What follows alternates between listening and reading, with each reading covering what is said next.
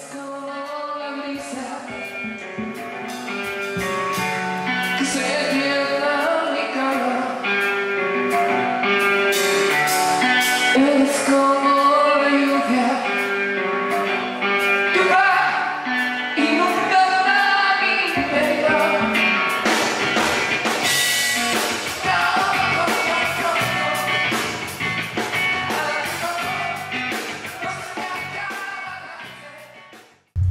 ¿Qué tal te pareció la presentación hoy aquí en Andalucía? Eh, eh, he estado en Andalucía y he tenido la oportunidad de estar en muchos sitios en el Valle del Cauca y, y siempre he encontrado que hay un espíritu que, que sigue latente en, en- en los pelados, ya en los que no estamos tan pelados, pues los que hemos crecido con el rock y, y permanece como esa necesidad de enseñarle a, a los chicos pues ese- esa energía y esa vitalidad que tiene el rock and roll, ¿no? que, que ha sido un folclore anglo que nos llegó a nosotros en una época muy apropiada, una época en la cual nuestra generación decidió eh, no ir a una guerra fría, no ir a una guerra atómica, no ir a, a pelearnos con otros seres humanos alrededor del planeta y creo que eso es algo que, que, que es la bandera más grande que puede tener la música pop en el mundo. El orgullo más grande que tiene el rock yo creo que es a- habernos dicho a nosotros como seres humanos que no tenemos que ir a, qué sé yo, a Vietnam, a Japón, a la China o a Rusia a pelearnos con nadie. Tenemos la oportunidad de tener un planeta para todos. Eso era como la bandera que, que siempre me gustó del rock and roll, ¿no? Y, lo veo presente en Andalucía. Y esa escena musical que conociste en los 90 de la juventud, ¿qué, qué encuentras de similitudes y diferencias a la escena que encuentras hoy, 25 años después? Bueno, el, el- asunto es que pues hay más información, ¿no? Entonces los pelados eh, tienen la posibilidad ahorita de estudiar más por, por YouTube. Eso es lo que hace eh, muy importante el tema ahorita en las nuevas tecnologías. Cuando nosotros arrancamos pues no había nada, no había música. Eh, íbamos a las tiendas de música y solo conseguía los 14 cañonazos bailables, ¿me entiendes? Entonces conseguir eh, álbumes era prácticamente bien, bien complicado. Ahorita los pelados se, se meten a YouTube y tienen toda la música del planeta, ¿no? Eso facilita que realmente lo- lo- la persona que tiene un gusto y tiene una- un interés por un tema, si es el rock o las matemáticas o la física o qué sé yo, eh, la naturaleza, los pájaros, eh, tienen la posibilidad de, de aprender todo a través de las redes sociales, ¿no? Entonces hay una, hay una enorme diferencia con respecto a lo que nos tocó a nosotros con lo que los que tienen los pelados ahora.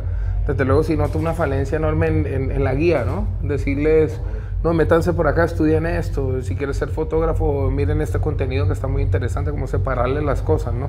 Siempre va a hacer falta un, un profesor, una guía que los lleve hacia el conocimiento, pero lo interesante es que el conocimiento está ahí. Si, si el personaje, la niña, el niño, lo que sea, está tratando de acceder a él, eh, tiene, tienes que poner su disposición, ¿no? Porque ya el contenido está disponible. Pero entre las diferentes facetas que has hecho como artista, como músico, como actor, como presentador, eh, el año pasado Socialmente le pasé con una serie muy buena que, que estuviste presentando con los diferentes grupos. El alboroto. Ajá. El alboroto, bueno, fue una oportunidad muy linda porque además hay una cantidad de, de bandas nuevas en la ciudad, en Cali, que, que desde luego eh, yo tuve la posibilidad de ser inspirado por, eh, pues por los cronos y los cronos por, por otros personajes también que empezaron como toda esa movida medio hippie en- en- acá en Cali. Sí, y encontrar en el alboroto pues que hay una generación nueva que empiezan a tener tendencias muy interesantes con las fusiones, más ska, donde empiezan a admitir también el tema tropical, que fue de pronto la ruptura que, que planteamos en Santa Sangre en un momento determinado, que era poder admitir nuestro folclore dentro del pop, ¿no? ¿Por qué no? O sea, sí, es eh, perfectamente válido y además que es, eh, en mi caso, increíblemente gustoso. Entonces hay, hay, una evolución definitivamente. Una evolución, es, eh, cada vez uno la puede sentir lenta, pero, pero nota uno en los pelados una energía nueva y el alboroto me dio esa oportunidad de, de conocerlos, de escuchar qué quieren, de escuchar cuáles son sus falencias de pronto, qué, qué les hace falta para poder mejorar como bandas, ¿no? Y el, y el programa permitió eso, acercar mucha información y acercar a las bandas entre sí para que pudieran compartir esa información. Eh, de pronto, ¿qué viene más? Viene de pronto otra temporada del alboroto, te sentiste muy bien haciendo el programa, ¿te gustó? A mí me gustó mucho el alboroto. Sí. Definitivamente creo que es un formato excelente. Tengo, eh, no, no sabría decirte, pues normalmente esos temas con, con Telepacífico pues dependen como de los auspicios y de la- del gobierno y todas estas cosas, ¿no?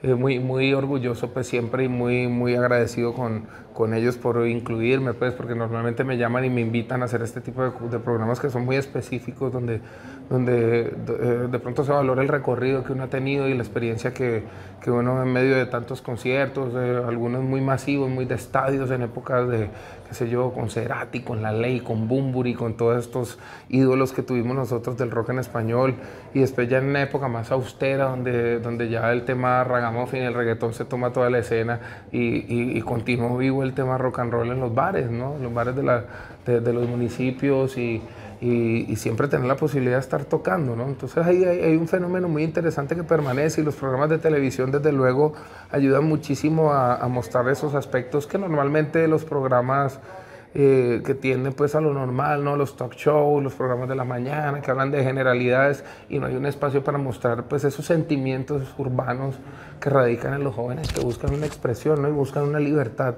sobre todo buscar una forma de expresarse de manera libre, de, buscar oportunidades dentro de una ciudad que, que, a veces es un poco todavía llena de tabúes y llena de, de, controles, ¿no? que, que, impiden mucho el desarrollo del ser humano.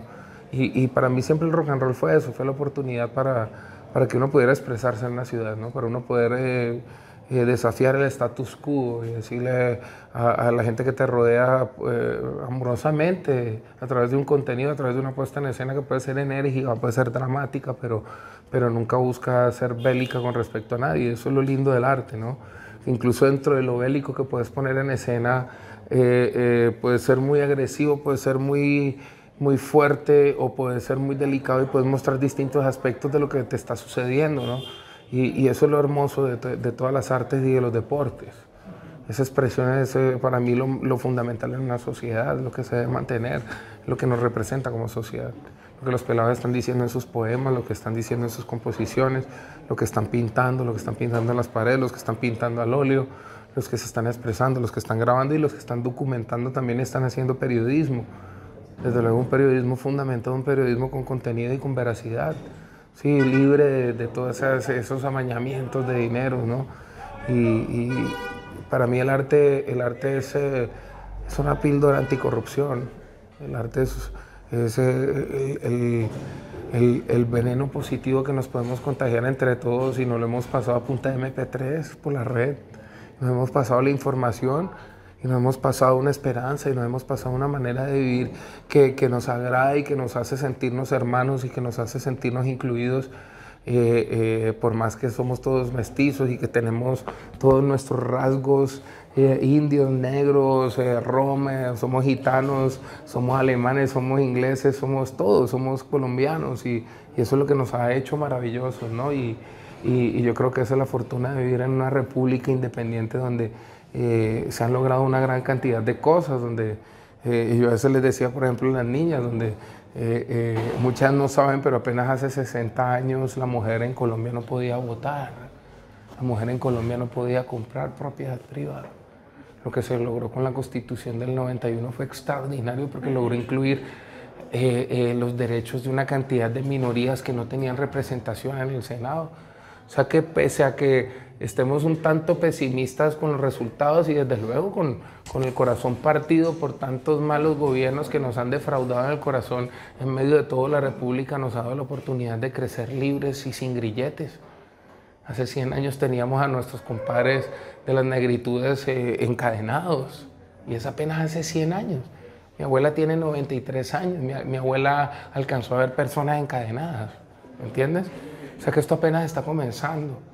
Yo a veces le digo a los pelados, eh, es un camino largo, un camino largo y hay que estudiar mucho, hay que entregarse, que dejar la pereza de un lado y que abordar la vida con sus problemas y sus asperezas y sus fastidios para tener los momentos tan mágicos como poder eh, llegar a un concierto de rock y expresarse y abrazarse con los amigos y tomarse un trago y desde luego salir el lunes y camellar en lo que, sea tu oficio y levantar tu billete, hacer tu empresa, llamar a tu familia, llevarle los regalos a tus hijos y a tus sobrinos y, y parcharla con tus amigos y disfrutar de la vida. Yo creo que es perfectamente posible.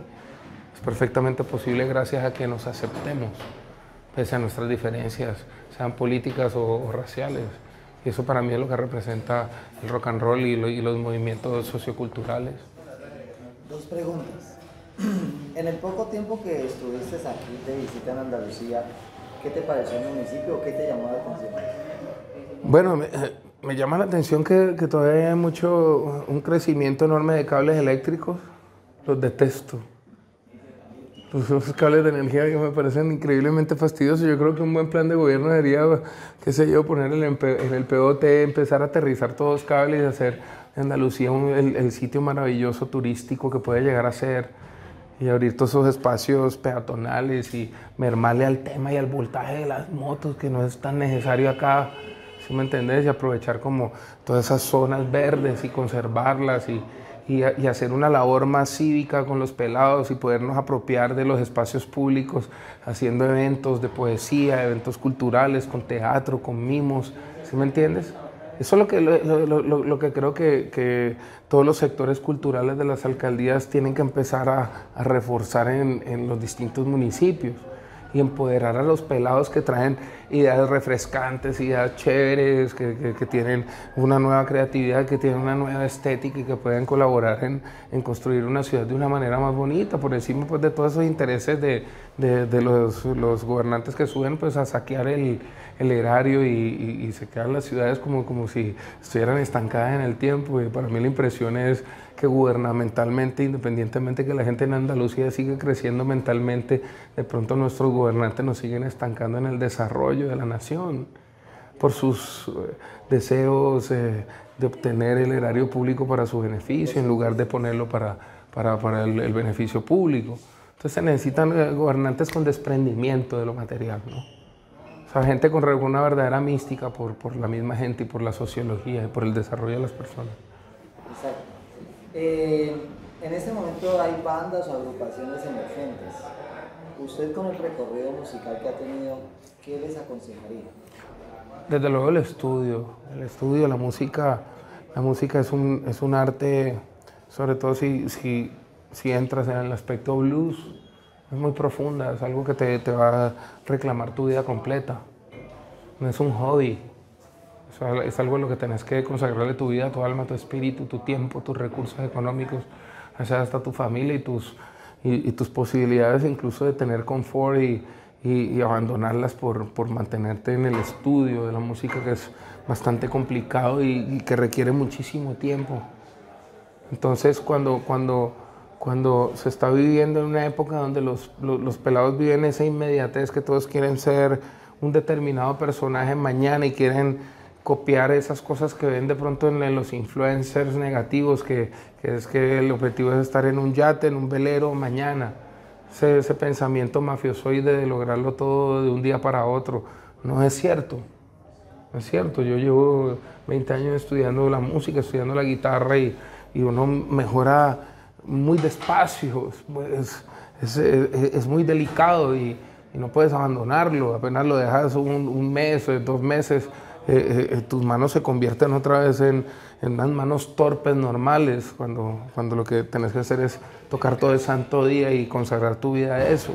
Entonces yo le digo a los muchachos, tienen que estudiar mucho, es una ciencia la música. La música no es una casualidad, la música obedece a una teoría musical, la música obedece a una historia que está basada en, en, en, personajes brillantes y grandes, como lo fueron también en la electricidad, en la electrónica, en la física, en el movimiento, en los carros.